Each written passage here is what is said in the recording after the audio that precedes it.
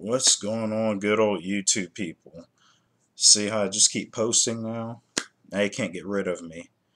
I'm forever ingrained into your channel or your your your your viewing suggestions, I guess. So it's topic time.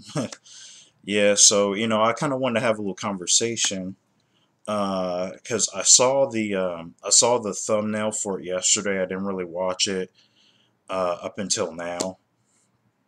Um, and those who are tuning into this video, so you know this is uh, this is about the 30 year old uh, the 30 year, year old guy. What's his name? Michael. Look him up again. I really forgot that, that dude's last name. Okay, well, that's fine. Well, his name is Michael. And um, he's pretty much been living uh, with his parents rent free for eight years. Uh, his family have tried to get rid of him like five times. They told him five times, look, you have to go. He's been refusing to leave. Uh, so they basically took him down to court and fought a legal action against him. And the judge forced him to leave. So, and then he responds back with his parents are evil people. His parents are bad people.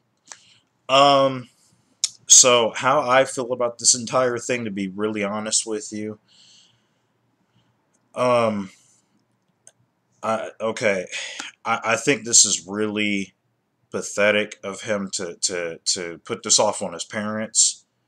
Um, because first of all, how are you how are you going to get upset with your parents?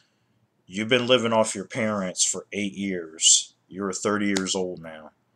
Uh, he, I think he's yeah, he's around my age group. So, uh, like that's all I understand. Like,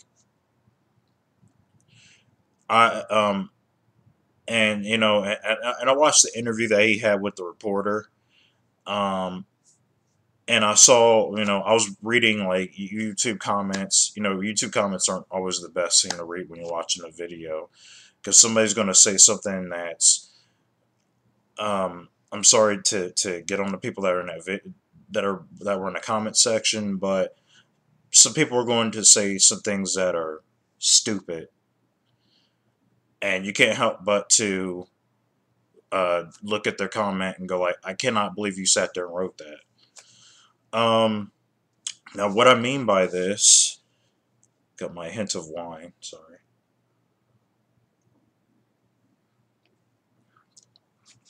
So what I mean by this is, uh, um, so let, let's get into the interview first so the reporter she's asking him like a series of questions and everything um, which i feel like they were pretty legitimate questions.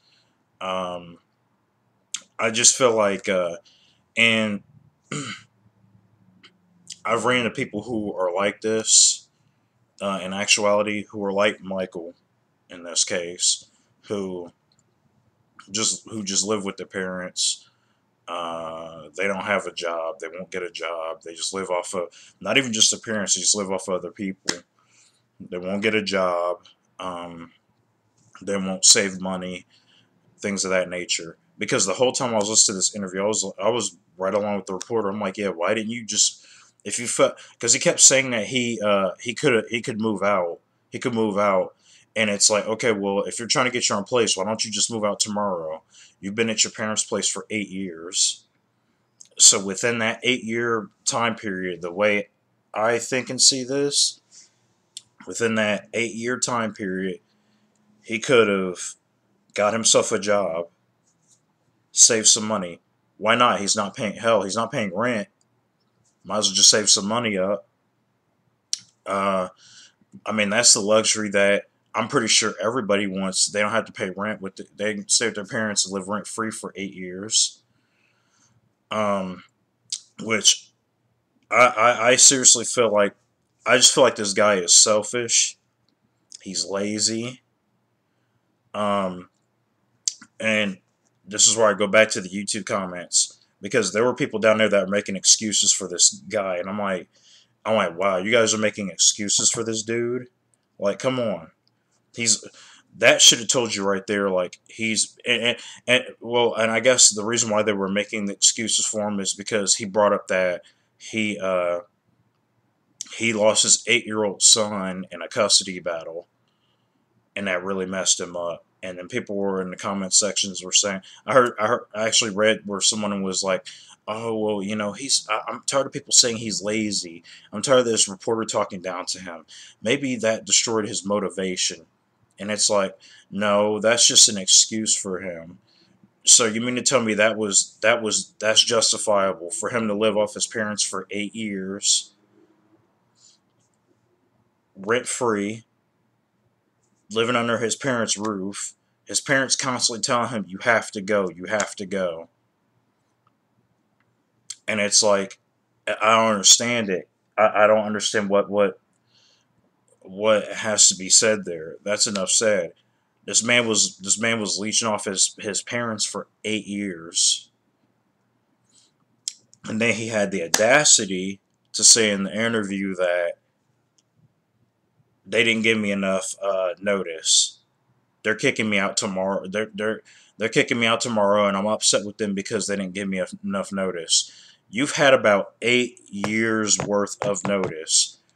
They gave you five. They notified you five times. You have to find your own place. Like I don't understand. I don't understand entitled people like that.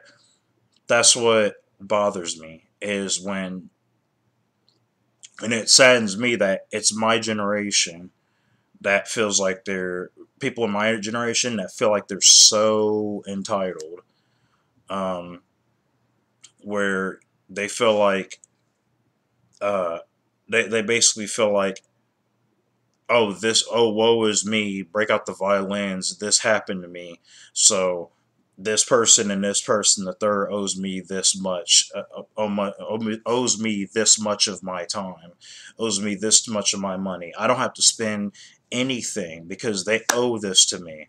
Nobody owes you anything out here. You have to go out there and get it. You have to go out there and make a living. Like, I have been out on my own since I was 19 years old. I'm 33 now. I've been on my own since I was 19 years old. Back in 2004, I was out there on my own after I graduated high school in in 03. Moved out of my parent moved out of my parents' house when I was 19 years old. Uh, I've been there's been occasions where I have been homeless, but I've still been working a job the whole time. Um, I I mean I don't think there's really too many times where I haven't had a job.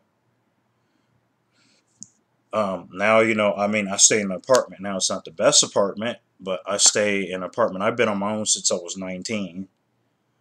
Um, I live with a woman that I love a lot. I'm going to uh, marry here pretty soon.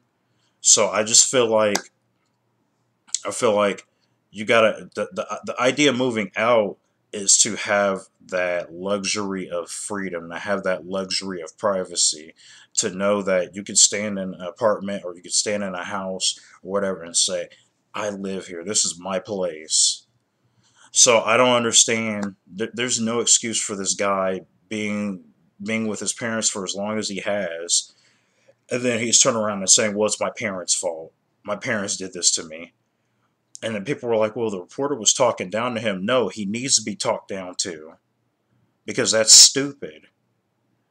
Like, I, don't understand why it's it's like the and the whole thing about it is, you know, I don't know if this is a little off basis or not, but it's kind of like the the it's like we have a we have a tendency to defend people uh, these days. I noticed that uh, when I had the Kanye West arguments with people, um, when I've had arguments that clear as day is the one thing, but then the people on YouTube want to argue about or and try to defend it.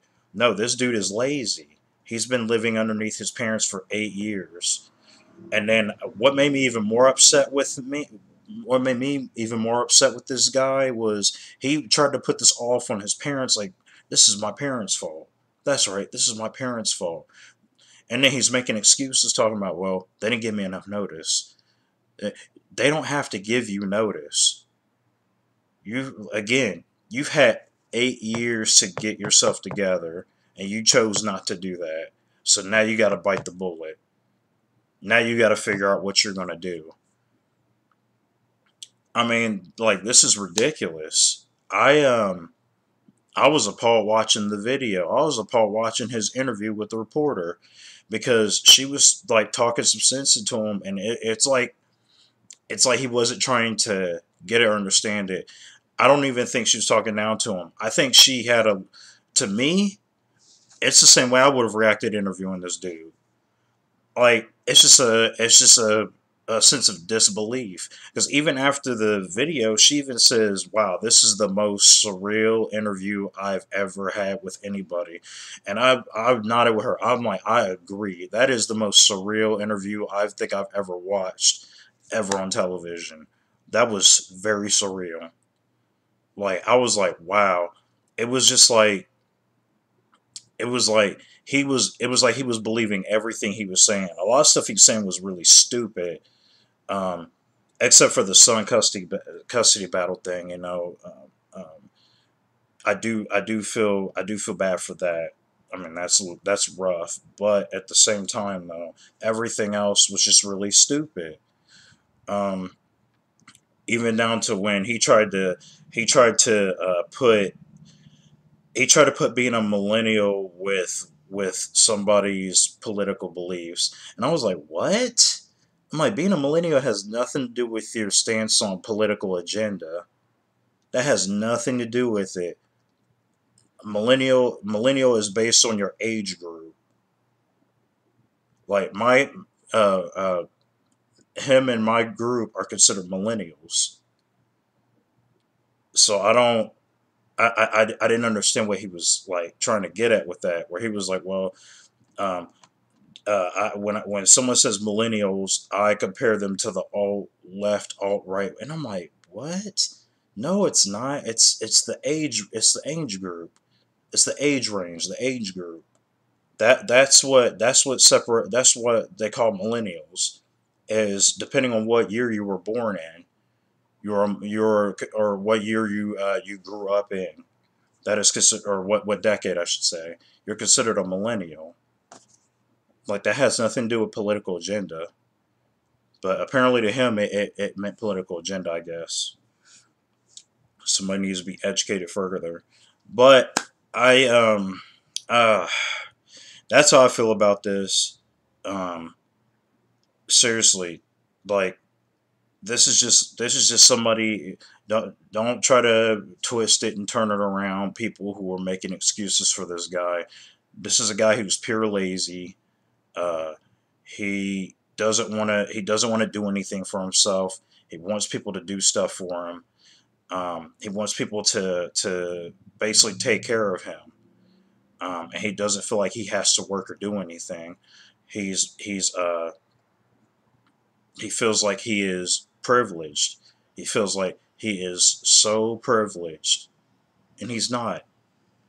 So I feel like this is right what his parents is doing. I feel like the judge came to a really good decision, and I felt like the reporter gave him the talking that he needed. So that's all I have for this video. Um, like, comment, and subscribe.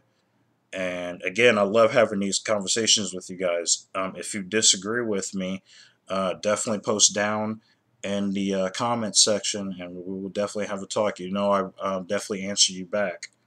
All right, so I will see you on the next video.